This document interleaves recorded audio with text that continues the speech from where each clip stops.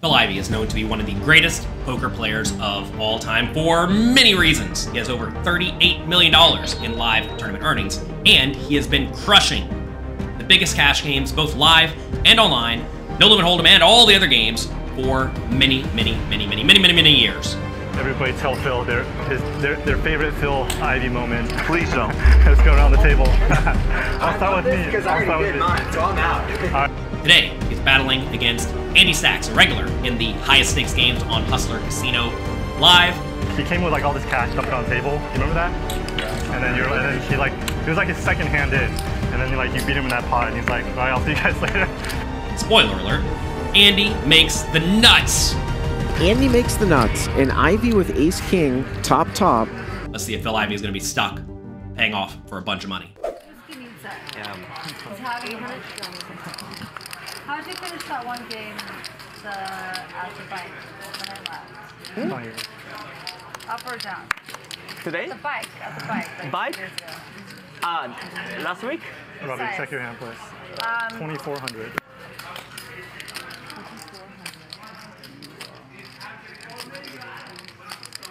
You going back to Vegas after? Tomorrow.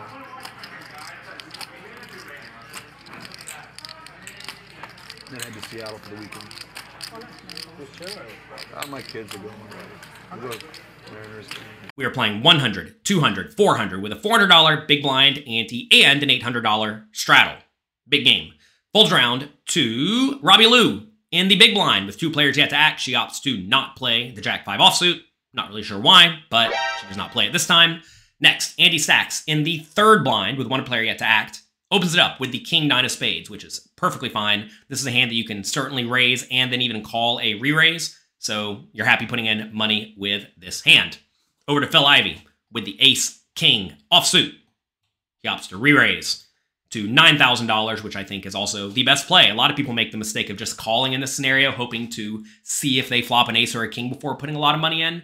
But this is a situation where many hands that you dominate will call a re-raise. Plus, you're in position. This is a great spot for Phil Ivey. He re-raises, as he should.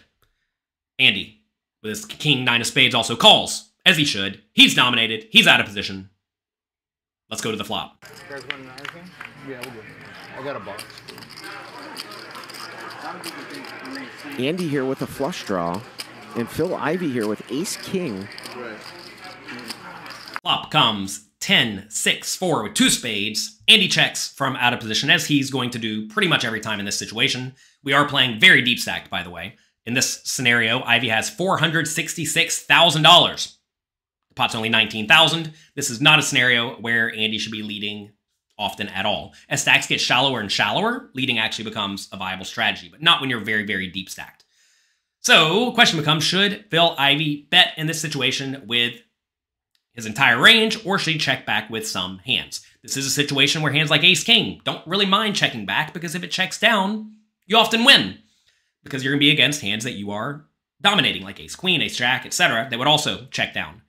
That said, when we are really deep stacked, I don't think we mind just putting in a small bet with our entire range in this situation, especially if we expect our range to be in generally better shape than Andy's, because in the scenario, notice Andy's going to re-raise with hands like aces, kings, queens, etc., right?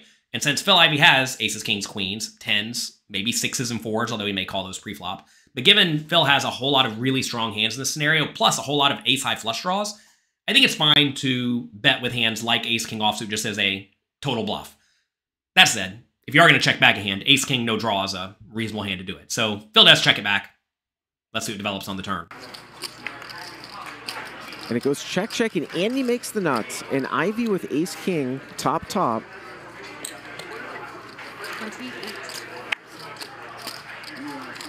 And Andy overbets here.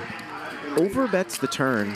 Turn is the ace of spades, giving Andy the nuts, and Phil Ivey 0% equity. It's hard to know you have 0% equity with top pair, though. Andy decides to bet about 150% pot. He blasts it. This is a situation where I think it is actually pretty reasonable to blast it with exactly the nuts and exactly King of Spades X. Because then when you take that strategy, either you have the nuts that you can very easily put a lot of money in with on the river, or you have a blocker to the nuts that can also improve some portion of the time. That's what Andy does over to Phil Ivey. You know what I want you to do? I want you to take a second and put yourself in Phil Ivey's shoes. What would you do? Would you fold? Or would you call and decide what to do on the river? Or would you actually bump it up to try to find out where you're standing right now? Pause the video and let me know what you would do in the comment section below. After it went check check on the flop, knowing that there's a good chance that Ivey might have hit an ace after this action, after checking back the flop, three bet pot. Andy taking this large sizing, Ivey checking back the flop as the three better.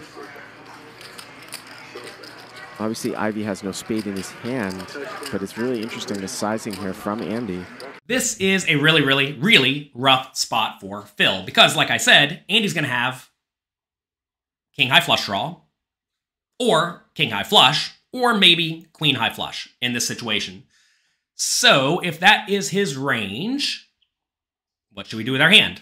Well, there's actually a pretty good amount of king x suiteds and perhaps queen x suiteds in Andy's range because a lot of those hands are the types of hands that would raise and then call a three bet.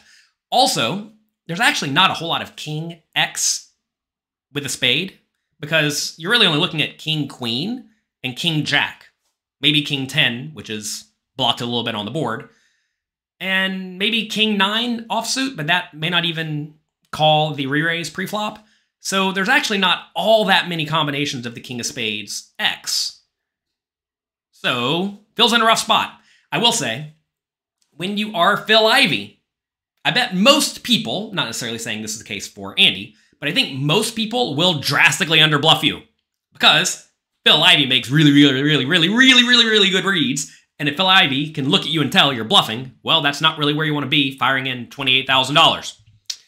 So, look, I'm sure everyone's going to say that I'm results oriented this spot, but I actually don't mind a fold from Phil Ivey in this scenario. Now, I will say, if your opponent expects you to be a little bit too weak, a little bit too passive, the type of player who's going to make folds that are a little bit too big, well, then you certainly don't want to fold. But if you're known to be a player who gets in there and battles hard, and you expect your opponents to be a little bit too cautious against you in general, when they blast it, it's probably because they have a good hand and they want to get money in the pot. So if you told me you wanted to call and see what develops, that's probably fine. But I think folding is also very, very reasonable in the scenario, especially as Andy gets more and more polarized to either the nuts or nothing, which I do think is the case. And even more so as he has less King X offsuit in his range that would raise and then call a three bet. Let's see what one of the greatest players of all time does.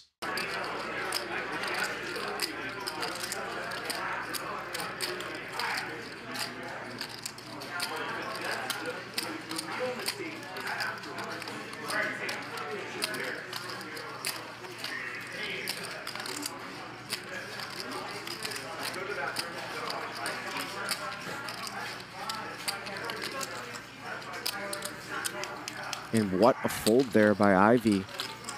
Checks back the flop and just folds to the overbet on the turn, and he is correct. He is correct. Andy with the nuts.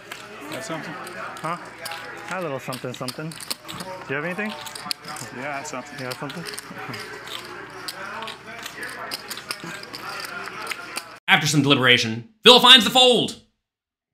It's hard to fold top pair, top kicker, but somehow Phil Ivey gets away, loses no money, and moves on to the next hand. That's to be it for today. If you enjoyed this video, do me a quick favor. Please click the like and subscribe buttons down below. Good luck. Have fun. When you make big hero folds, I hope you're right. And if you're not right, well, move on to the next hand too. I'll talk to you next time.